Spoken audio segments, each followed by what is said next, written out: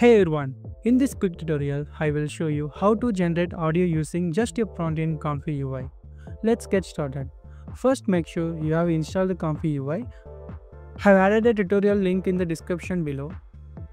Now go to the workflow tab and click on browse templates. Scroll down until you find the audio section. Then click on it and select the first template. Once the workflow loads, you will see a pop-up saying a node is missing. Don't worry, I will guide you through fixing that. Click the link in the markdown note. It will open a website where you can download the required models. Scroll down until you find stable audio open 1.0. Download both model files listed there.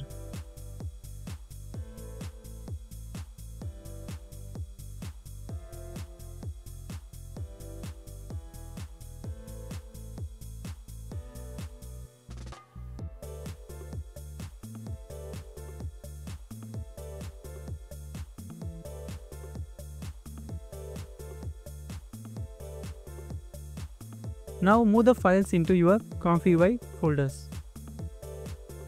Save the stable audio open 1.0 file into the directory.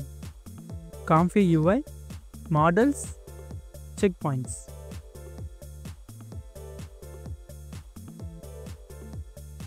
Then take the T5 base file, it might be named just model after downloaded. You can rename it to T5 base if you'd like and uh, Save it here.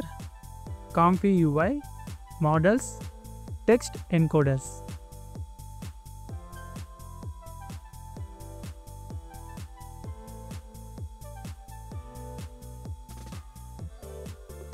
Head back to Comfy UI and refresh the nodes. In the checkpoint loader, select the stable audio open 1.0 model. Also load the clip model. If you renamed it, choose T5 base. Now time to add your prompt. I used ChatGPT to help write mine.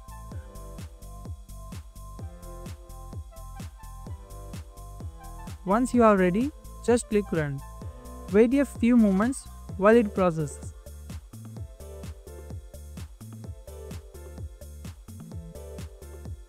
And just like that, your audio is generated.